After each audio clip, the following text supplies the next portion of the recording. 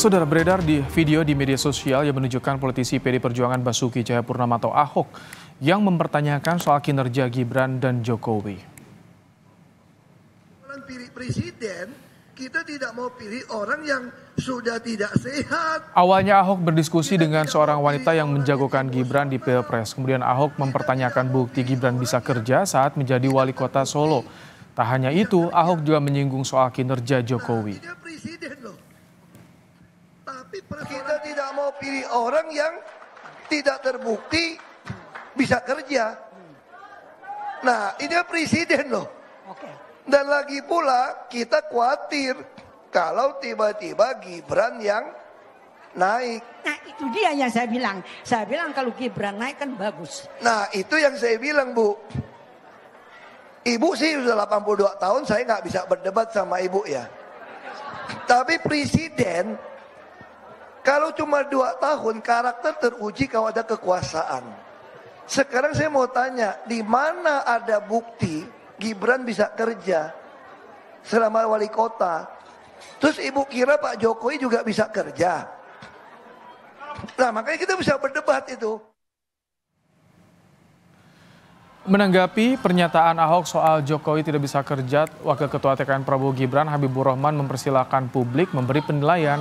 Menurut Habibur Rahman, Ahok pernah mencicipi Jokowi efek pada Pilkada DKI 2012. Habib menambahkan Ahok bahkan bisa menjadi orang nomor satu di DKI Jakarta pada 2014 juga karena pengaruh sosok Jokowi.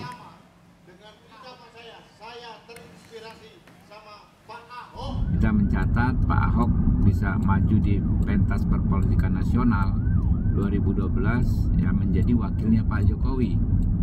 Artinya ikut merasakan uh, manisnya Jokowi efek saat itu. Kemudian juga 2014 Pak Ahok mencicipi kursi gubernur karena Pak Jokowi waktu itu kan menjadi presiden. Artinya lagi-lagi Pak Ahok untuk kedua kalinya mendapatkan manfaat yang sangat-sangat uh, baik ya uh, dari seorang uh, Jokowi. Kalau menurut pendapat saya nih ya mungkin subjektif Pak Ahok ini kan cuma bisanya kerja bikin gaduh ya. Silakanlah masyarakat uh, menilai sendiri. Menko Marves Luhut Bin Sarpanjaitan merespons pernyataan Ahok yang mempertanyakan kerja Jokowi. Luhut mencontohkan keberhasilan Presiden Jokowi menyelenggarakan NF1 Powerboat di Danau Toba. Menko Marves Lut Binsar Panjaitan bilang itu terjadi karena kerjasama kita semua dan di bawah kepemimpinan Presiden Joko Widodo. Jadi kalau ada orang yang bilang Pak Jokowi nggak bisa kerja, lihat ini dengan kepalanya.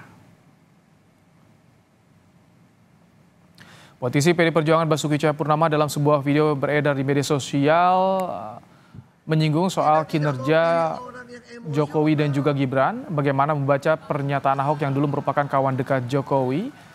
Kita akan bahas bersama dengan Direktur Hukum Tim Pemenangan Nasional Ganjar Mahfud, Roni Talapesi, dan Jubir Tim Kampanye Nasional Prabowo Gibran, Putri Komarudin.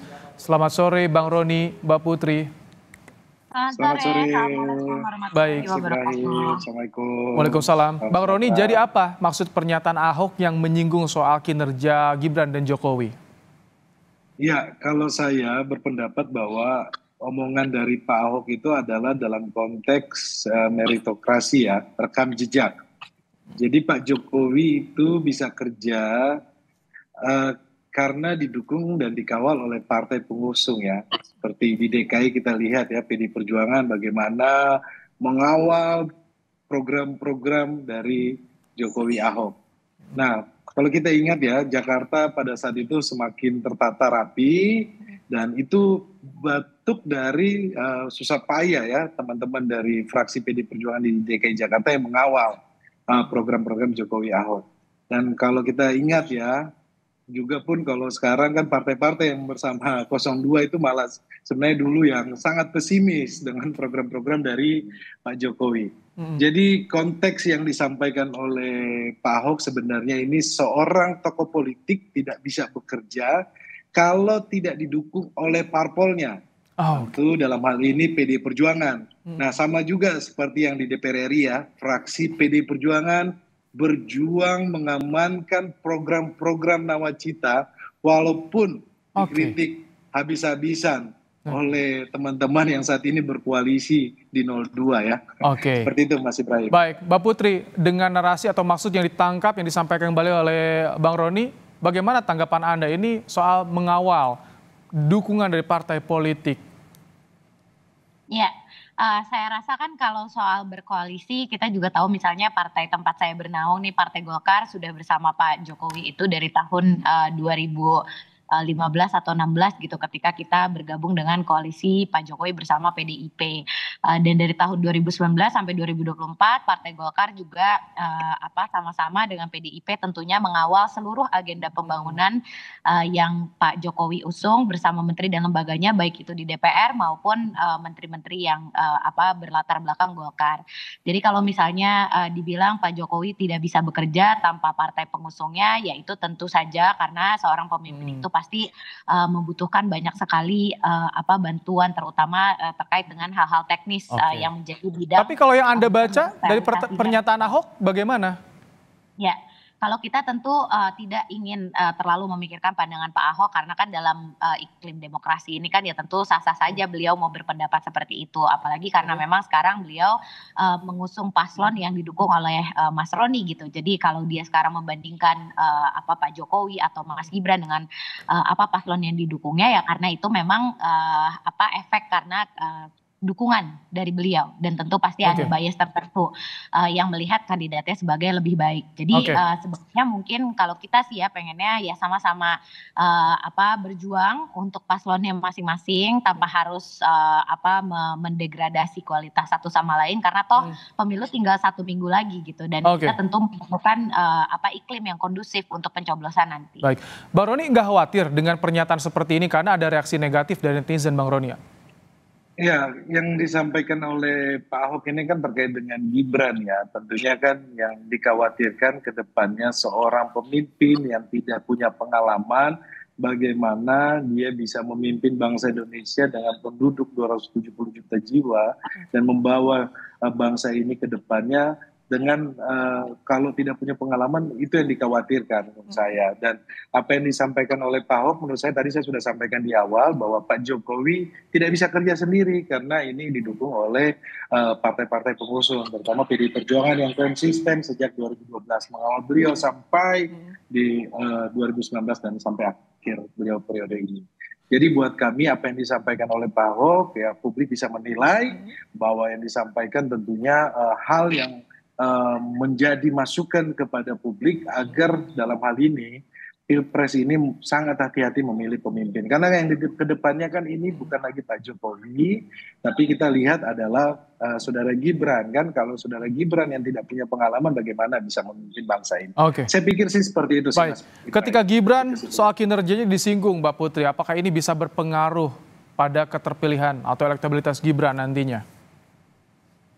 Ya, yang pertama kalau soal Mas Gibran kan teman-teman yang berasal dari kota Solo sudah melihat sendiri kan kiprah beliau selama menjadi wali kota ada membawa uh, kota Solo ini dari yang ekonominya uh, apa terdampak sangat uh, apa negatif pada saat Covid sampai dengan minus 0,17 uh, dan akhirnya bisa melambung lagi sampai dengan uh, 4% pada tahun 2021 dan akhirnya melesat sampai 6,25% pada tahun 2022.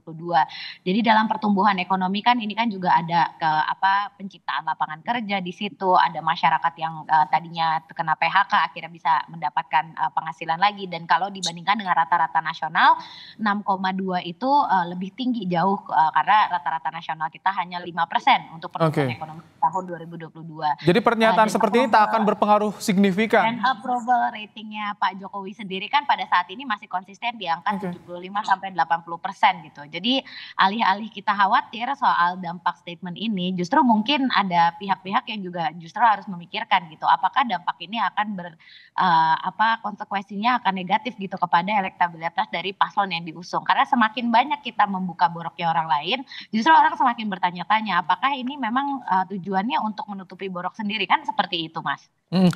Bang Roni, tadi approval ratingnya Jokowi masih yeah. tinggi. Kalau misalkan disinggung ketika kinerja Jokowi, benar ini tidak akan berpengaruh pada keterpilihan paslon yeah, yang Anda dukung. Kalau, Logikanya sederhana Mas Ibrahim, kalau approvalnya tinggi tentunya survei dari 02 ini akan uh, tinggi juga ya. Kalau kita mengacu di beberapa survei itu stagnan di 43-44 persen. Jadi kami juga melihat bahwa sebenarnya itu tidak eh, apa namanya hal yang disampaikan itu terkait dengan kapasitas seseorang yang harusnya punya pengalaman tidak hanya di wali kota saja ya, Oke. tapi harus punya pengalaman yang lebih karena ini mau memimpin bangsa ini. Bagaimana arah kebijakannya ke depannya? Tentunya kalau apa yang dilakukan oleh saudara Gibran, Gibran kan ini semua publik sudah tahu karena memang program-program yang di Solo karena ya mungkin ada satu lain hal sehingga program-program itu di Solo sangat terlihat. Jadi kalau kita bicara soal pembangunan yang berimbang, tetapi jadi pertanyaan kenapa hanya kota Solo saja? Oke. gitu. Tapi ya sudahlah, publik sudah bisa melihat. Tetapi buat kami prinsipnya adalah apa yang disampaikan oleh Pak Ahok ini merupakan eh, kritik dan tentunya masyarakat juga bisa melihatnya secara jernih dan luas. Oke. Seperti itu Mas Ibrahim. Baik. Eh, terima kasih Bang Roni dan Terima juga Mbak Putri telah meluangkan waktu di Kompas Petang kasih. sore hari ini. Ya.